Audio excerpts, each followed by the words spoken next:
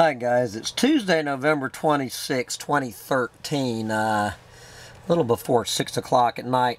I did four rants earlier today, four rants which I just put on, I dumped them on all at once 30 minutes ago.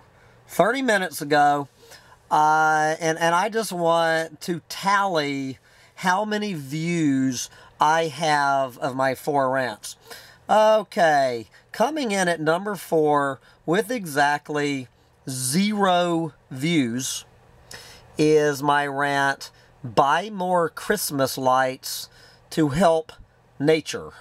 I'm going to change that to Buy More Christmas Lights to Save the Planet, coming in with zero views.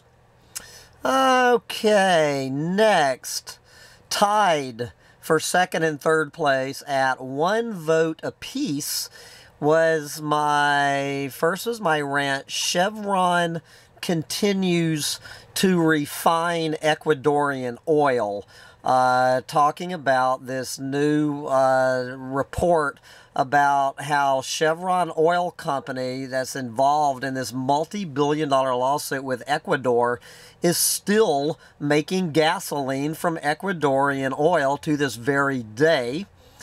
Okay, that came in with one view. And tied with it at one view in the first 30 minutes of hitting the uh, hitting cyberspace is how to save the Earth's animals from 11 billion people. This was a story from Live Science magazine how every one of the animals on planet Earth are in immediate peril as the human population of this planet climbs from 7 billion to 11 billion. One person in a planet of, of now 7 billion is tuned into that in the first 30 minutes. And finally, coming out number one uh, with, okay, we had one at zero, two at one views, coming in with 19 views. In the first 30 minutes, 19 views was my rant Comet Ison spells doom for planets collective IQ. And this was a rant about uh, how the number of uh, the unbelievable number of clueless, brainless morons thinking that Comet Ison spells doom for this planet.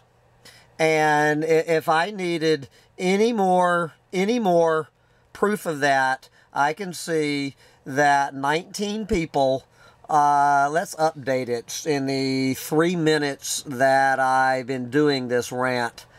Uh, okay. We, oh, I guess, I guess that, uh, it, no, I, I see it just stuck on the same. Anyway, so there you go the score 19 to 1 to 1 to 0. I rest my case. This planet's collective IQ is the number one thing being doomed by Comet Ison. Smoke him if you got him, guys. Bye.